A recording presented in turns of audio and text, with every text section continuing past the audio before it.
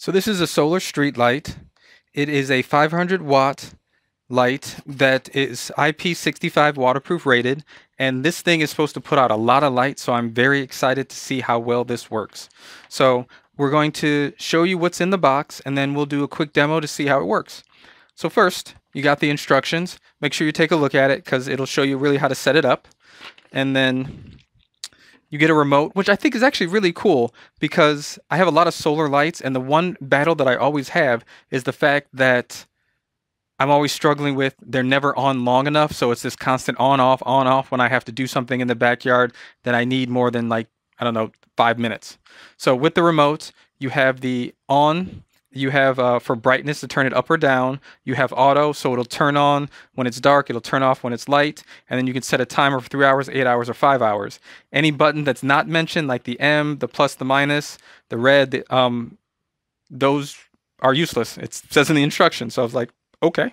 Um, so they, I guess they maybe use for, they use one remote for a lot of different models that have different functions. But those are all the buttons you're really going to use. And then there's, it takes uh, two AAA batteries which they do provide. Now you get some screw mounting hardware.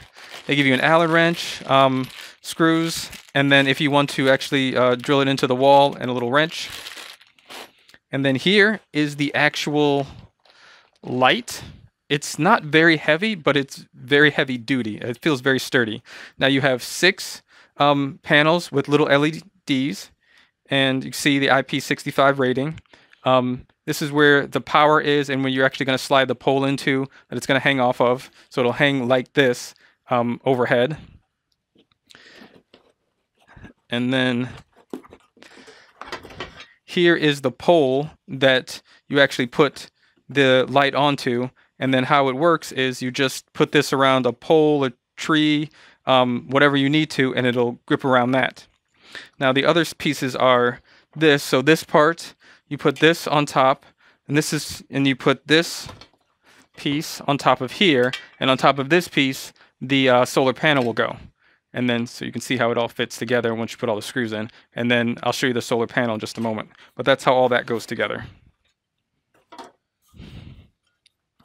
And then if you take this out, put this to the side, then you have the solar panel.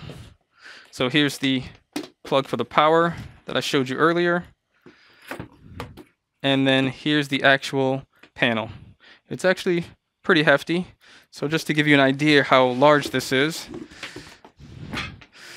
based off of this, this is about 24 inches. So it's a little less than 24 inches. So that's about it.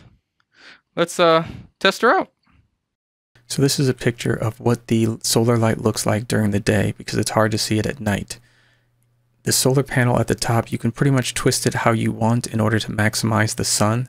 And then you can see I had to drill it into the tree because there wasn't a pole nearby that I could set it on, so this was my next best solution. So here it is. Now let's see how bright it is at night. So this is how bright the light is at night. It lit up my backyard very well, so I'm very pleased with that. The only con that I say I have is with the remote. Now I was hoping to use this remote inside my house to be able to turn the light on and off, but you have to be fairly close to the light depending on how you how you have it. I had to be very close to it, almost under it in order to turn it on and off. So you don't get a lot of distance with it. But besides that, I'm very happy that it has a remote because I don't need it on 24-7 or I guess you could say all night. So I only need it when I'm outside for long periods of time and I want to light up the backyard. So for that, this serves the purpose wonderfully. So I hope this helps. Take care.